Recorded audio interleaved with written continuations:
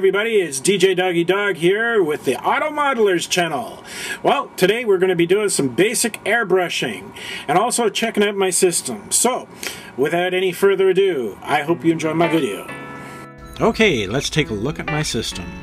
I have an Artograph 1530 spray booth with an Iwata Deluxe airbrush set. The set includes a SmartJet compressor and an Eclipse airbrush. Okay, here's a quick peek at the uh, filters on the uh, system. It consists of a top layer, a mid, and also a carbon filter. Uh, the exhaust is vented outside and the booth does a really great job. Okay, let's take a look at my airbrush. The Eclipse is an internal gravity feed airbrush. Uh, it also has a double action trigger.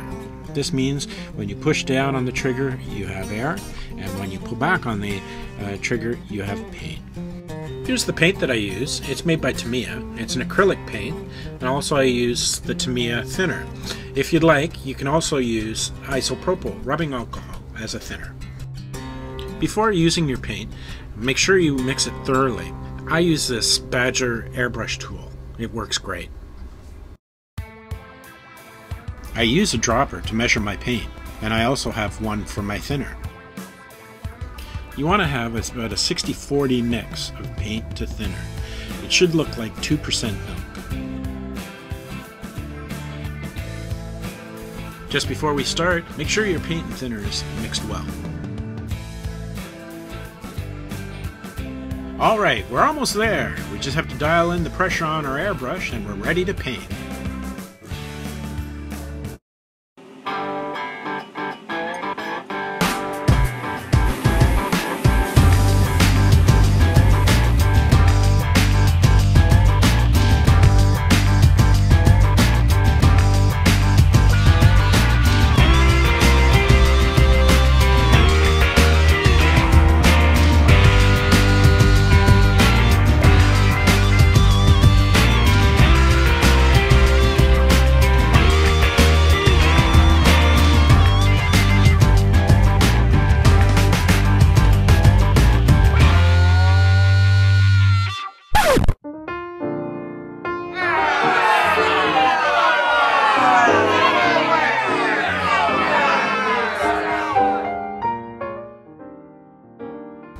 Once I finish painting, I pour the remaining paint back into its container.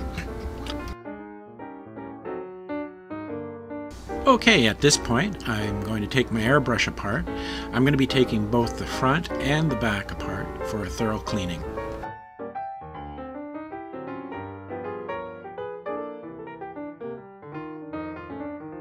I use lacquer thinner uh, to clean my uh, parts of my airbrush. I find lacquer thinner works the best, although you can use the thinner that you're using rubbing alcohol, but it'll take you a little bit more time to clean. I find lacquer thinner to work the best to clean my airbrush.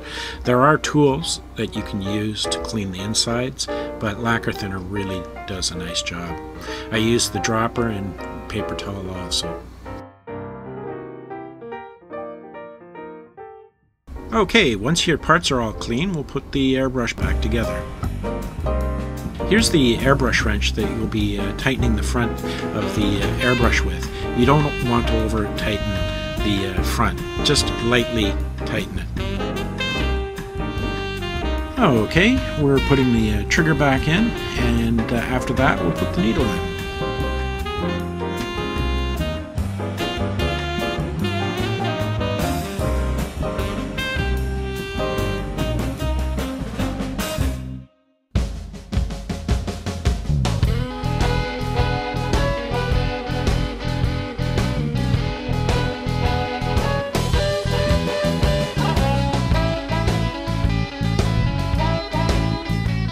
When the needle goes back in, be very careful that you don't use too much pressure.